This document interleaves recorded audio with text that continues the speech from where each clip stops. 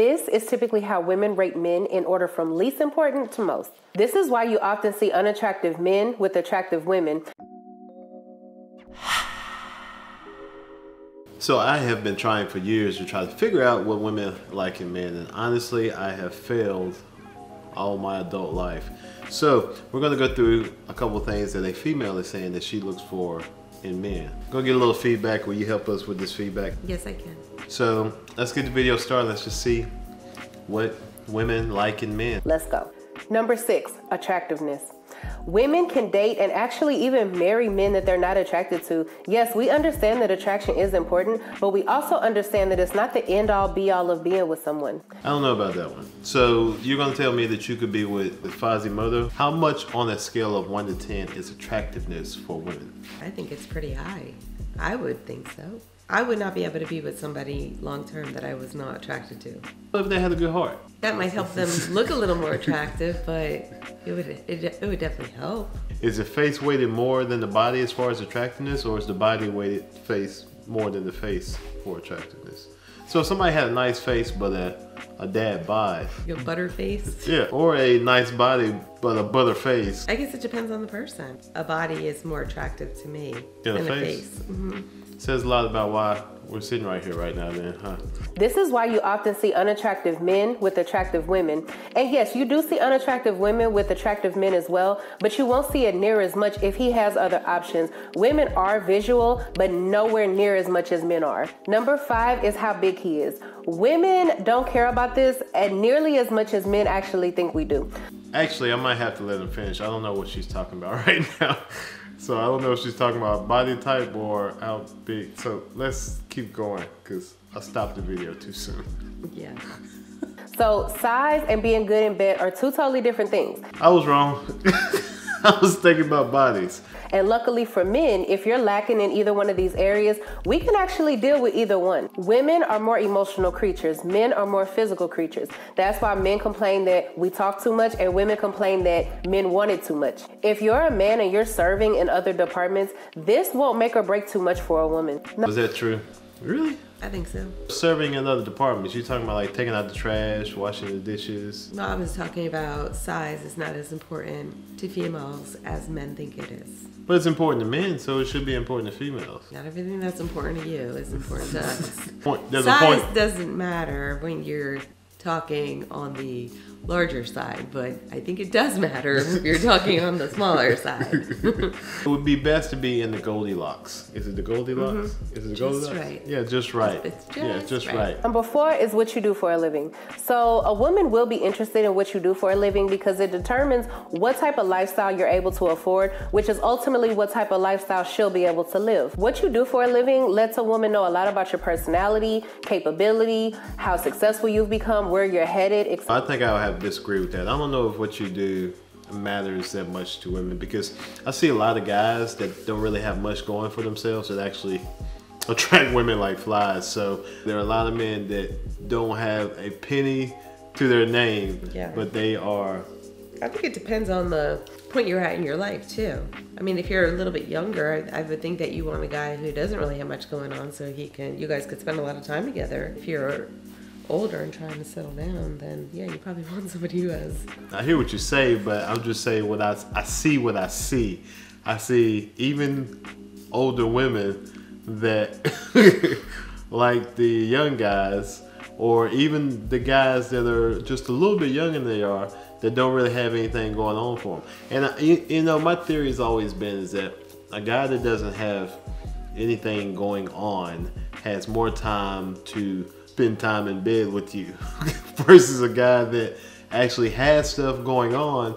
He's doesn't have as much time to spend with you in the bed. And a lot of times when he gets done working he's tired and doesn't want to do it so i don't know. That that could be my theory but i don't know. I think women have this one backwards. I'm gonna call bs on this one. I see women asking men what they do but i don't see them asking men what they do for relationship purposes. I, I see a lot of times them asking men what they do for monetary monetary purposes. No, I think you're right. That's more of a with them. I've never heard that with them before. With them, what's in it for me? Number three is Are you good for her image? So, do you make her look good? Are you good for her social status? Do you carry yourself well? This is where possessions you own come into play.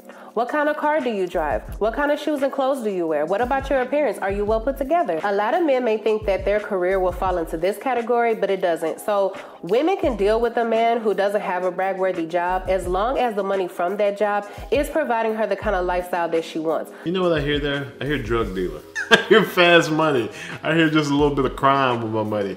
I don't care what status your job is mm-hmm. as long as your money. Okay, how you get your money as long as it comes to me. this is starting to sound worse as we go on. Women want to know what your status are. Do you make her look good? What kind of car you drive? What kind of clothes you wear?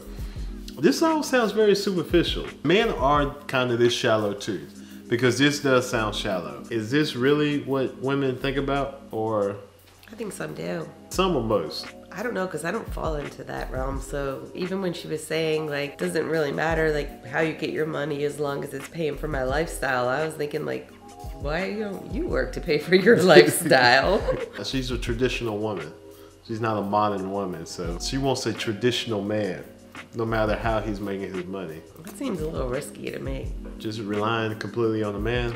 Yep. It could be, unless you're doing everything right. Well, then, if that was the case, then we'd have to go back to question number two because then a career would be very important to me. Well, maybe that's the problem. Maybe women are choosing wrong. Maybe because women are so independent now, is that their choices match their independence. It's like I, I got all this stuff and I can do all this stuff for myself, and so it don't matter the quality of the man that I get. Maybe that's why all these what used to be called back in the 90s uh, scrubs is what TLC used to have. them.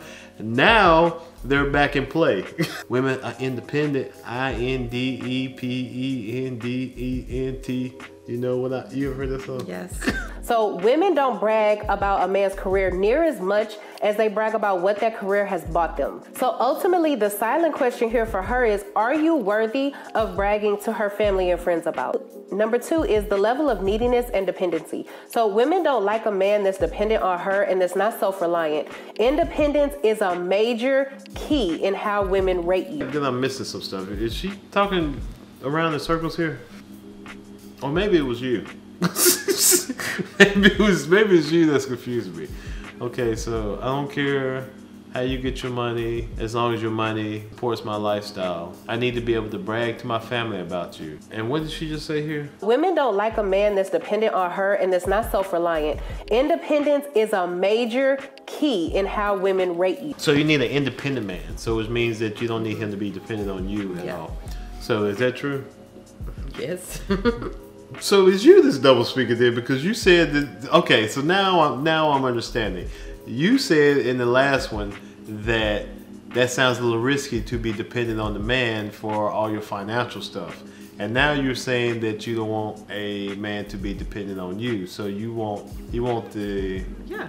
I'll take care of my own stuff, but don't depend on me to take care of you. Take care of your own stuff. But we just talked about It's scrubs are in. 50-50. It's 50-50. But we just talked about scrubs are in. Not for me, they're not. I don't know if 50-50 work. It might be like 70-30, 80-20. Who pulls the higher? Kind of like a like my meat. eight. Who pulls the higher? I mean, I don't know. It just depends on who who's making the most in the relationship. You have some women that make more than men. I'm just saying it's not fair. Like if you were working and I was working, and even if you made more than me, if you were paying all the bills and I was just taking my paycheck, going shopping, getting my nails done, like that wouldn't be fair. It used to be called chivalry. it did. I'm actually okay with that. You I are? did. I'll have to rearrange my budget then. Wait, you confusing me again. Wait. Independence lets her know that no matter what, you're gonna be okay and that you don't need her. You want her. And golden number one is personality and traits. How strong are your fatherly traits? How do you deal with stress? Do you snap or do you push through? Okay, so I'm gonna get probably like a D on all these. Better than the F you would have gotten three years ago. I don't snap all the time. so much anymore. But I had a lot of stuff to be snapping about at the time. Emotional stability in a man is important. Mm-hmm. And why is that? I just don't think it's an attractive trait for somebody to be unemotionally stable. What does unemotionally stable mean? It can be all different things. Somebody who's just like kind of you can't talk to, they just they lose it fast, um, like no patience. That's a lot of women too. It is. How trustworthy are you? Are you a liar? Are you sneaky? Are you attentive to her needs? Are you reliable? Do you make her feel emotionally secure? Y'all, women are suckers for how you make them feel. If you serve in this area, all other areas will be minute. All other areas will be that less important. I hear what she's saying, but there's a lot of guys out there that have a lot of great personalities that get overlooked. I will say though, for most women, if you treat her good and show her, give her attention and make her feel like she's top on your priorities, that she's right. I, I feel like other things can be overlooked. Pretty decent video.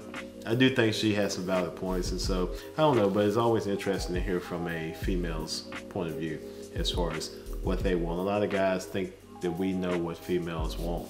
I think that we can be kind of a little off sometimes, but I can also say, just from my feeling, is that females say what they want sometimes, but they won't actually always go after what they want.